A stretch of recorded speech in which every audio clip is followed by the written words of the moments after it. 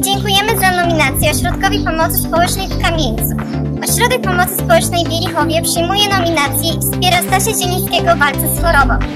Nominujemy OPS Grodzisk Wielkopolski, OPS Rakoniewice i Komisariat Policji w Rakoniewicach.